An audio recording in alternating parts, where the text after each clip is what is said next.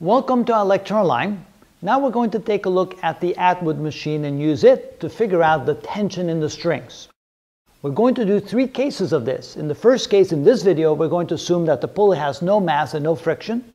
On the next video, we're going to assume the pulley has friction. And on the third video, we're going to assume that the pulley has mass because we'll, figure, we'll have to do it differently in each case. But if the pulley has no mass and no friction, just like in the previous video, we can assume that T1 must equal T2. T1 equals T2.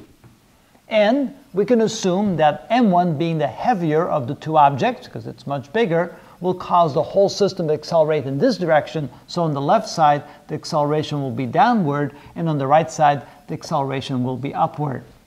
The acceleration will be the same for both objects, m1, m2, except the direction will be different, but the magnitude at least will be the same. To find the tension here, let's go to mass 2. Realizing that mass 2 is accelerating upward, we can find out what the tension is on that side. We can say that T2 is equal to the weight of this object, which is m2g, plus the force required to accelerate it upward, which would be m2a. For this object right here, m1 being the heavy object, it's going to accelerate downward. We can then say that t1 is equal to the weight of that object, which is m1g, minus the force required to accelerate it downward, which is m1a. In each case, the a is the same for both. And realizing, of course, that t1 equals t2, we can then say that m2g plus m2a equals m1g minus m1a. And if we calculate those independently, you'll find out those are equal to each other. Now, how do we find the solution for t1 and t2? Just like before, we need to know the acceleration. To find the acceleration, we can then assume this to be one complete system. We can draw a free body diagram around the whole system. And then we can look at all the forces acting on the system, not the internal forces, but the external forces acting on the system. There's only two in this case.